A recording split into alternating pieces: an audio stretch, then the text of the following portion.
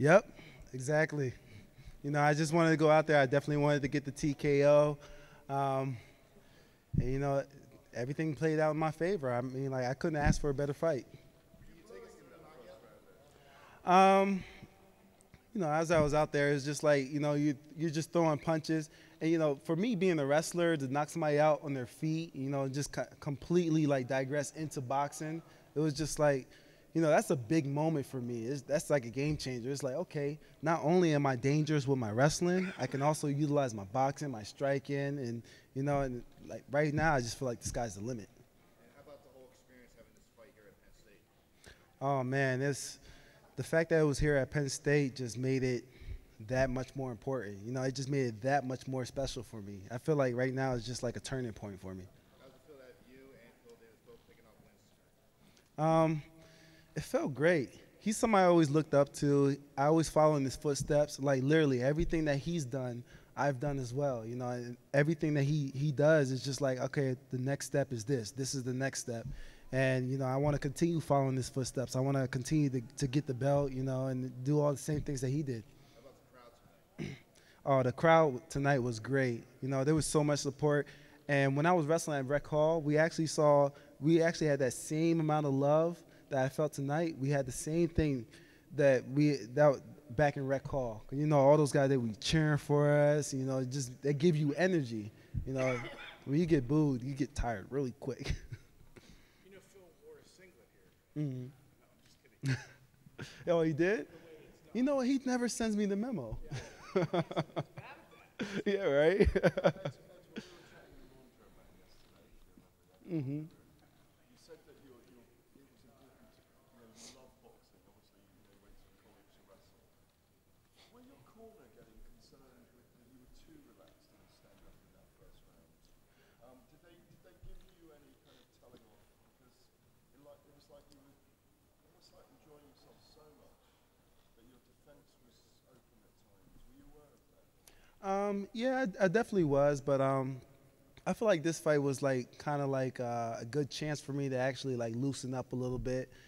And one of the biggest problems I did have in wrestling was that I was a little too relaxed, a little bit too flat-footed when I first started out, and then I started picking up the pace a little bit later on. But you know, being out there and being out in front of that crowd, it's kind of hard to get that experience anywhere else, even when you spar. And uh, you know, I had it tonight, and and I and, and, at the same time, I just wanted people to see that you know I'm not going to go out there. I'm not stiff. I'm loose. I feel comfortable, and you know, and at this point, you know, it's just I'm just to keep getting more and more comfortable in the ring. Um, yeah, everybody gets nervous. You know, I, I, feel like the little butterflies. You always you always have it in your mind that something can happen, something crazy can happen. You know, you always want to make sure that that doesn't happen during your fight. So, you know, I, I, get little butterflies every once in a while, but once I step in the cage, man, I just feel like a fish back in water. Could you hear the crowd get behind you? Are you zoned out? Um, no, I definitely heard the crowd this time. Before, you know, the only person I could hear was my manager and my, and my coach. You know, I just heard them like yelling things out. But, you know, today I definitely felt the whole crowd behind me today. How about the national exposure for Penn State wrestling tonight? Um, man, I'm so happy that I'm able to come back here and Phil's able to come back here and you know just the whole Bellator just coming back here and you know we're wrestlers wrestlers you know and we're pushing that to the foreground and that's that's great man I'm I'm so happy that I'm able to do that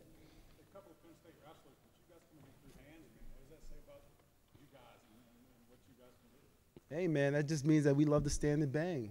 You know, I just I want people to I don't want people to think that I'm just gonna go out there and take them down. I want them to be like, okay, he's gonna sit there and he's gonna try and trade with me on my feet. What was it like having Coach Sanderson there watching you again? It felt like a wrestling match. you know, having like him off in the corner, you know, it's just like when I walked out there, I just everything that he used to tell me in the corner, you know, just go out there, have fun, just relax. You know, you're doing fine, and you know this guy doesn't have anything you need to worry about. You know, I just kind of like I was visualizing that all over again. Uh, I couldn't hear. Honestly, the person I only hear my coaches. You know, Bob Cook, he has a very uh, he, he, when he yells, he penetrates through the whole crowd. It's the craziest thing ever. I'm like, man, I never hear this guy yell. He doesn't have like a very demanding voice, but when he yells, I can hear him penetrate, penetrating through the whole crowd, all the chairs, everything. I hear his voice.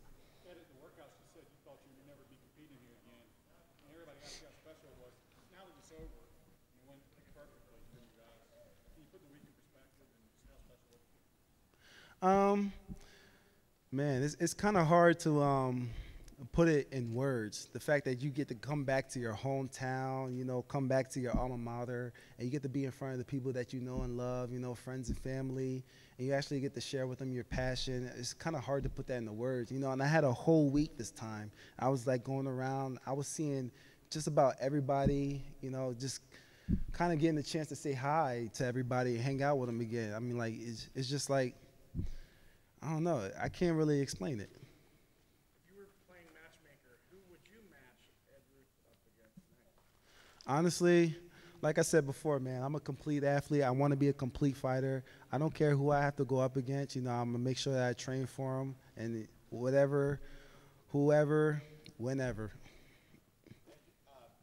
What was your big? What do you feel the biggest threat that Chris Dempsey had against you? How do you feel about that threat now after the fight? Um, Chris Dempsey, he's a tough guy, you know. Um, and I, I know that he hasn't like his last couple his last couple of years he wasn't like feeling too hot, but you know, like honestly, when he stepped out there in the ring, he's he's a pretty tough guy. And I, when I was throwing punches, I was like, man, are these really affecting him? you know, I was really I was questioning myself for a little bit, but the fact that he's able to do that, you know, play that poker face, I feel like he's a really tough guy, and I I feel like uh you know he has a lot more fights under his belt left to go.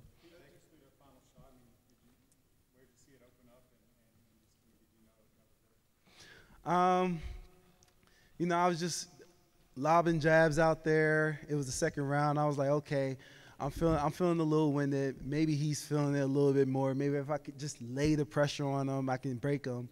And when I saw that last shot go in, and then he just sat down, it was like, you know, I'm looking straight, and all of a sudden he drops out of view. and I'm looking down. I'm like, okay, what do I do now? And then the ref puts his hand on my chest. I'm like, okay, it's over.